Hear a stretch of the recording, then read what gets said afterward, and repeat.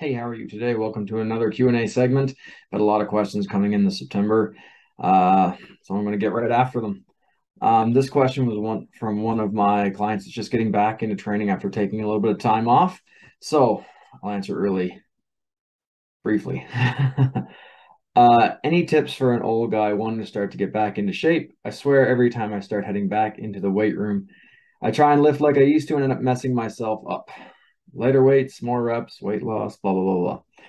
All right. This is a really common thing after people take a time off. Um, it's a interesting combination of how much time you've taken off, how much training you've done before, nutrition recovery, lots of fun stuff. So let's start at the basics. If you've taken more than I would say a month off, you have to integrate back into lifting slowly, especially for the main lifts. Squat, bench, dead, clean, overhead press. Uh, those big movements can really tax your nervous system, but also your physiological system massively because they're just big movements. So my pro, uh, what I usually run into is squats. I find if I've taken some time off from doing squats, uh, especially big weight squats, I can't get under the bar fast. I have to slowly build up over a series of weeks. So the first week you might jump in and do like 30 to 50% for reps what you did before. So if you squat 400 pounds, you might be squatting 185 to 205 for like six to 10 reps just to get your legs back and progressively build up over a series of weeks. Um, it's usually because the strength is there, the volume might not be. Uh, so it takes a while for the body to kind of get used to it. Uh, sorry, to get back into getting used to it. So when you're coming back from training uh, after some time off, you got to take your time. A lot of flexibility, a lot of big movements with lighter weight, and uh, slowly over a period of weeks, just build back up. Take your time. Don't rush it. Like the faster you try and get under a bar and get back under like your 70, 80, 90%, the longer time you're going to have to take in between. You won't be able to walk for seven to 10 days. It sucks. It's not fun. So that's just a simple one. Uh, lighter weights and uh, lighter weights and reps for weight loss. Well, yes and no. Yeah, you probably will have lighter weights when you're going in for a weight loss phase, simply because you're eating in a calorie deficit. And it doesn't matter if you're doing lighter weight, lighter weights, more reps. If your nutrition's not in check, it doesn't matter. Like you can't out train a bad diet.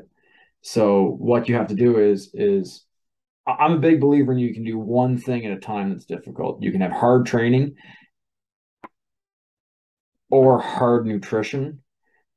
It's very difficult long term to do both. So what uh what I think is a, a slick little way to do it is get back under lighter weight and get consistency first. Okay get to the gym consistently first, three to four days a week, whatever your goals are. Once that's fairly consistent after a couple weeks, start addressing your nutrition issues. Okay. Need more protein, more water, more veg, less of the fun stuff, pizza, beer, all that stuff. And then slowly start building up your skill sets in both.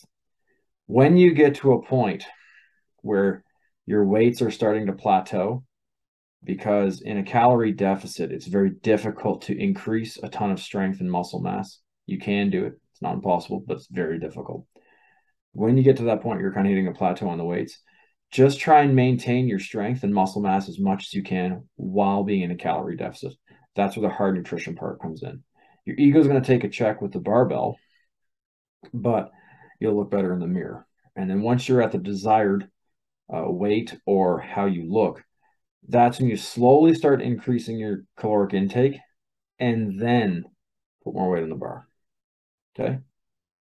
It's just a cyclical little system that makes it a lot more manageable for people with busy lives to uh, get their goals.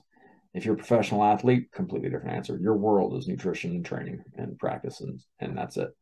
But people that have like a job, kids, all that stuff, trying to do hard nutrition and hard training is very difficult.